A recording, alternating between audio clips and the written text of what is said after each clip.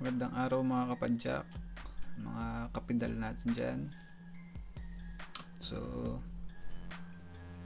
ngayon magpapalit ako ng battery ng Cat Eye micro wireless.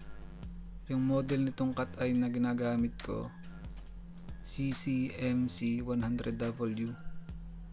Ayan, kung makikita nyo. Ayan. Ubusan ako ng battery kaya magpapalit ako pero sobrang tagal ko bago pinalitan. Yung size ng battery niya ito kita nyo ba? CR 2032 original daw tong battery na to. Sabi dun sa binilan ko. Ewan ko din. Try natin kung hanggang kailan tatagal to. Sabi nila sabi dun sa binilan ko ano daw eh Habot daw to ng 6 years. So, ayun. Check natin. Try natin. Wait lang natin. Then, habit lang natin yung cup niya. Yung pagkabit medyo mahirap tsaka pagtanggal. So, gumagamit ako ng gunting o kaya pwede din yung coins. Ayan, so ayan pag nakabit na siya ganyan yung lalabas sa screen niya parang kailangan natin na iset ulit siya from 0 so ayan. So meron ditong tatlong uh, button yung dito sa kabila ito yung menu. Ayan ito yung menu Then ito, yung kulay dilaw, light siya.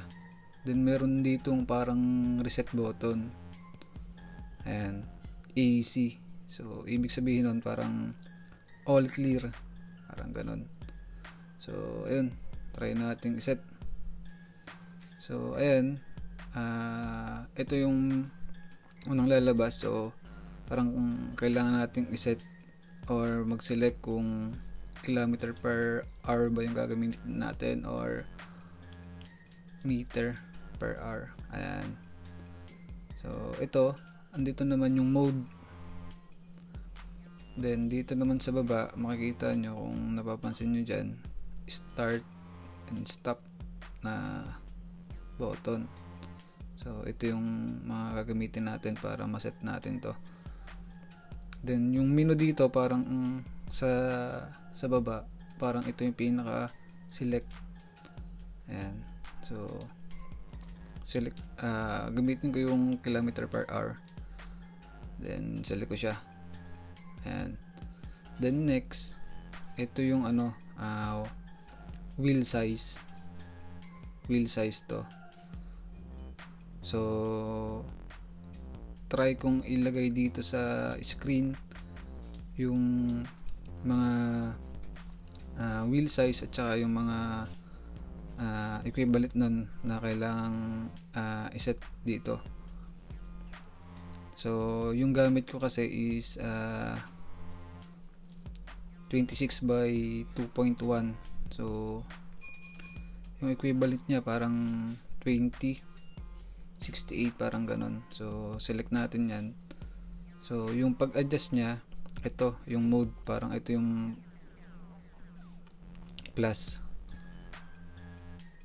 So adjust lang natin. Then para ma-adjust natin yung sunod dyan yung 9 kailangan natin i-select dito sa baba. Yung start start stop button. Select lang natin uh, push lang uh, pindutin lang natin siya. So ayan. Then adjust ulit natin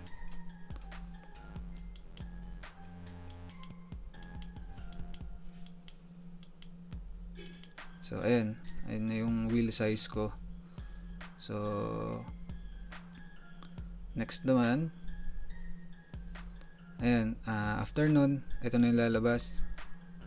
Ayan. Makikita nyo dito sa bandang uh, taas na to. Ito yung parang pinaka odometer natin. Then, ito. Ito yung yung uh, nandyan. Madami yan eh. Ito uh, parang uh, TM then merong DST then AV then MX then Odo then yung time. So itong TM na to ito yung tinatawag na total elapsed time. Ayan parang uh, dito makikita yung uh, total uh, uh, elapsed time then yung sunod dito ito yung DST ito yung trip distance. Then yung AV ayan naman yung average speed. Then yung MX ito naman yung maximum speed. Then ayun ayun yung uh, odo then uh, sunod dito yung time. Ayan so kailangan din natin iset tong time na to. So uh, turo ko mamaya kung paano iset yan then ayun. So mapapansin nyo meron ditong A. Tapos meron pa yung B. So parang yung A yung pinaka main then yung B yung pinaka sub kasi dito ayan kapag sinelect natin yan makita nyo may A and B. So yung main yun muna yung isa-set natin. So, kailangan natin siyang i-select. Ayan. So, naset ko na yung gulong, yung wheel size ko kanina ng 20 by 68. So, good na ako dyan. Then, sunod ko naman, menu. Ay, sorry. Ayan. Pagkaset nung, nung wheel size, mode, then, next na iseset natin, ayan, kung naka-automatic ba siya, or naka-manual. So, ako, sineset ko na lang siya ng automatic then next ayan, ayan. Ito na yung time. Kailangan mong iset din natin yung time. So ayan. Ako usually palagi yung ginagamit uh, yung 24 hour. Bira lang ako gumamit ng 12 kasi mas nasanay ako doon kahit sa mga relo na ginagamit yung ganun din yung sineset ko na time format. So ayan. So pag na-select na natin yan uh, pindutin natin dito sa baba. Start stop na button. Ayan so kung gusto mo ng 12 ayan mode lang. Kung gusto mo ng 24 then mode. Then para iset yung time para mapunta dito sa baba yung uh, start stop uh, start stop na button ulit. Ayan so ito yung R. And ito yung minutes. So, set muna natin yung minutes. Uh, 7 uh, 49 PM na. So, set ko lang siya ng 49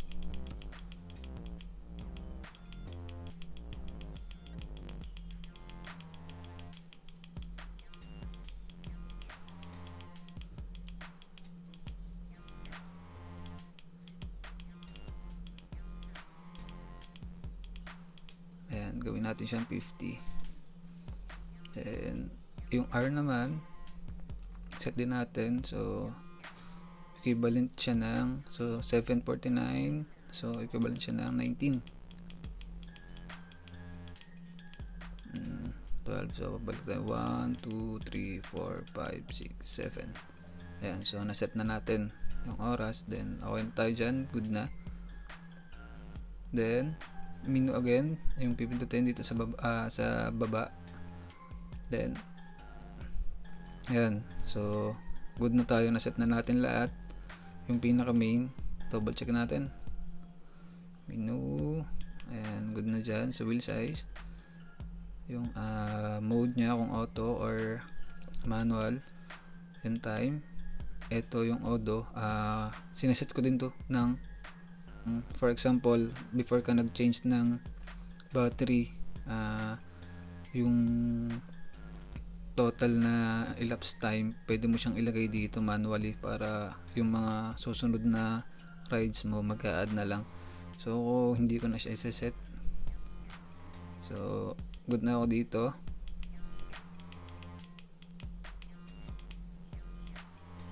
Ayan. Min ulit input ito yung odo then next ito yung ayan yung kilometer per hour or meter per hour kung gusto mo siyang i-change. Then ayan balik na ulit tayo dun sa umpisa. So nakaset na yung main natin. Okay na. Back to zero na lahat yan. Then yung oras natin set na rin. Etong uh, sunod uh, yung sinasabi ko na kaya may A dyan at saka may B. So ayun yung sub. So pwede mo siyang iselect din or iset din? Ayan. Ito uh, naka pre ano na siya preset na siya. Yung, pin, yung binate naka preset na siya ng uh, I think ano to 26 by 1.95 na wheel size. Kaya 2050 siya nakaset. So usually hindi ko na siya ginagalaw kasi uh, kaya lang siya merong uh, sub na ganito. Kasi for example uh, uh, dalawa yung uh, bisikleta na ginagamit mo or magkaibang size yung ginagamit mo na, na, na wheel size pwede mo siyang iset dito. So ako hindi ko na siya sineset. Kaya ayun. After nun ayan okay na to ulit. Good to go na to. Pwede na tayong mag ride ulit. So yun. Hanggang dito na lang guys. Uh, hopefully uh, may uh, na-share ako sa inyo. Uh, uh, please like uh, share and subscribe na rin sa channel ko para sa mga ibang tips na pwede kong ma-share at saka sa mga ride na uh, ma-upload natin. So ayun guys thank you.